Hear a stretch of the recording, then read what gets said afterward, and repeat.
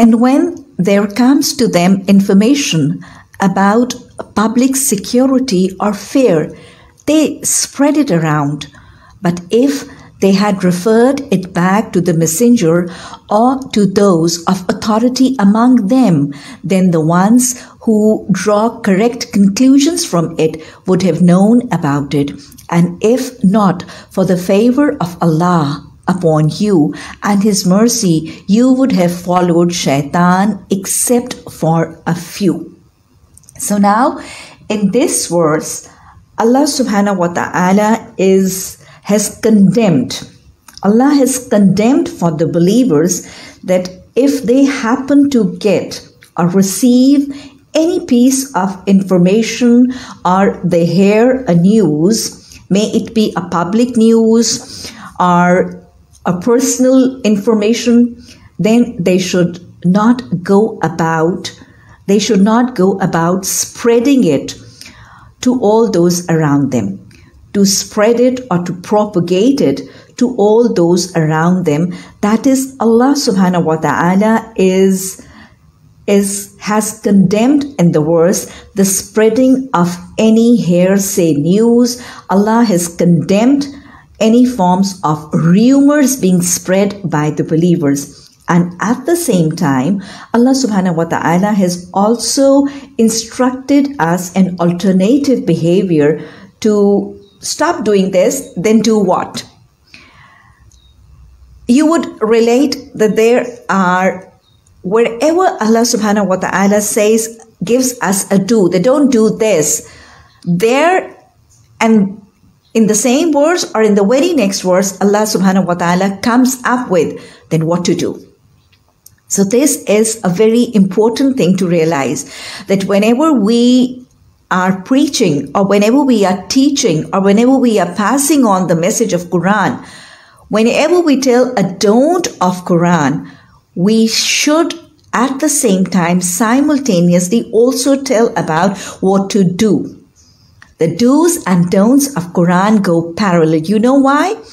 Because when we tell somebody the don't and the person stops doing that devious act and that sinful act, which was guided to him by the shaitan. When the person stops doing, hearing that these are, this is the don't of Allah, and the person stops doing that, then what happens? That all the time and all the energy and maybe all the all the money which was being spent to do that activity was now will now be free will now be free the person will have time, will have energy, and will have money, which he used to spend on doing that thing, on doing that sinful activity, on doing that devious activity is guided to him by shaitan. So now, once that, that time, that money, that energy is free, until and unless immediately a do is told, suggested, or instructed, you know what the shaitan will do? the shaitan will or might and will surely who is Adubu Mubin, who is our open declared enemy, the shaitan is definitely going to suggest another big or a major sin. And the person who was doing one sin will leave that and will opt or will start another sin as suggested by shaitan.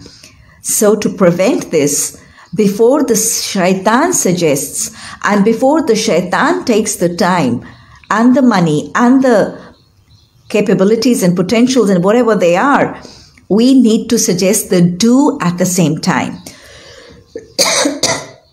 so this is a manner which we very frequently come across in the Quran and also in the Hadith that Allah gives a do, Allah says a don't and then immediately suggests the do.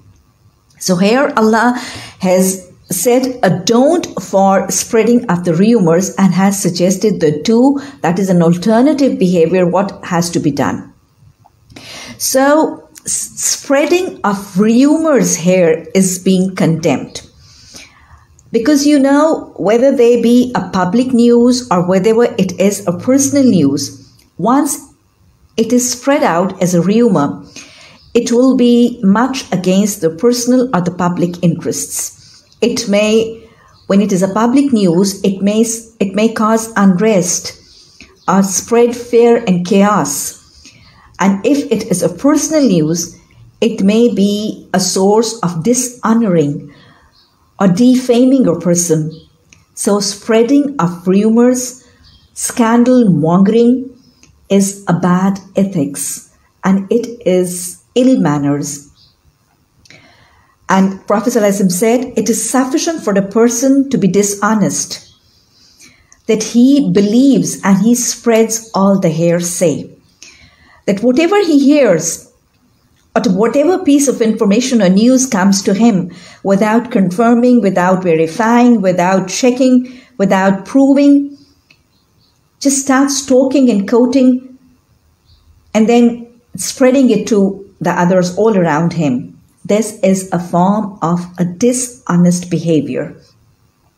Spreading rumors is generally a manner of the people who have small minds free minds, empty minds, people who have all the time in the world. They don't have anything better to do, nothing better to do. Okay, let's just talk and spread these news. They have all the time in the world to talk about pointless things. So generally it is you you might be relating and you might be knowing that generally it is the youngest child of the family who is the first with the bad or the good news. Any fight, any upsetting thing, anything being broken in the house, the moment the father walks in, it is the youngest child which usually comes out with the report. So small minds, small minds would be doing all this. Allahumma la taj'alna minhum. And generally spreading and loosely talking and spreading news and spreading rumors is generally more common in women folk as I, I read somewhere that the four means of communication are telephone, telegraph, television, and you know the fourth? Telewoman. Telewoman. And believe you me, nowadays, tell a woman with a telephone, with a mobile, with an with a with an iPhone or with an Android in her palm top, this would no doubt be the fastest means of communication. So that is what we need to do. We need to restrict, check, control ourselves to indulge in such activities and such conversations and the spreading of rumors and scandal mongering because this has been condemned in Quran.